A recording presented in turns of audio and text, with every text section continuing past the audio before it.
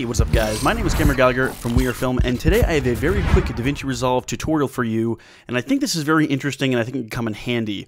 So I have a voiceover here that is a certain length, and I want to get all of these photos to be within the length of that voiceover. But here's the problem. I want to do it as quickly as I can, of course, and not only that, I want to make sure that each photo is the same time. So I could always sit here and drag these and then move them and see if they're all the same time. But the thing is, it takes a long time and they may not always be equal. So if you're wanting to change a bunch of photos um, in, in the same amount of time, obviously it can be a little bit tricky. Now, you can always change the input duration. So when you input a photo, how long the basic duration is.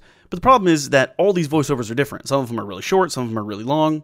So a quick way to do that is to select all of the clips, click on the trim tool, so T on your keyboard, and you'll see this little icon where you pull the clips to shorten them. Um, just to click here. I'm just to drag, and you can see that it's dragging all of the clips, but again, it's making them all shorter at the same distance.